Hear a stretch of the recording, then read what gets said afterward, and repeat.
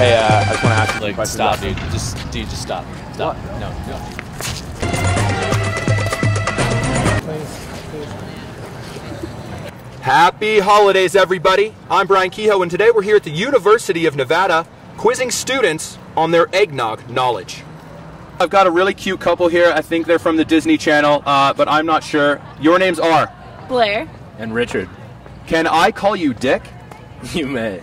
I love it. We're off to a great start here. Here we are with, uh, Carlos Villalobos. can I call you Los for short? Yeah, of course. Your name is Andrew Flangus. Andrew Flangus. Hey, I like your Ray-Bans. Oh, thank you. I like your Ray Bans. The subject of the afternoon, um, cute couple, is eggnog.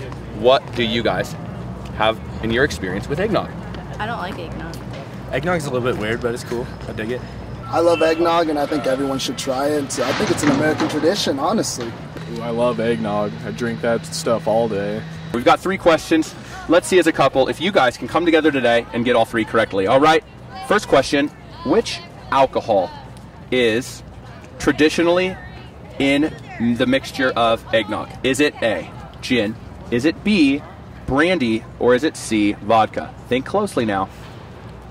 Brandy. Yeah, I was gonna say brandy as well. As a collective whole, one for one. Good job, cute couple. Brandy.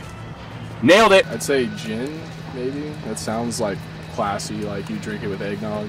You're absolutely wrong. It's brandy. Question number two, guys. Eggnog originated in which country? Is it A, the US, B, Germany, or C, England? England. Yeah. Two for two. I think we've got a match made in heaven here. I'm not sure. But if this is three for three, I want to see a proposal right now by Big Dick here. Let's not. Man, uh, Germany. Bam, that's a wrong. Germany.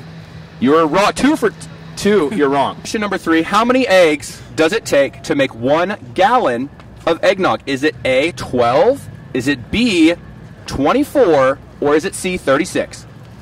Now think, the egg is in the name, just to, just to let you know. 24.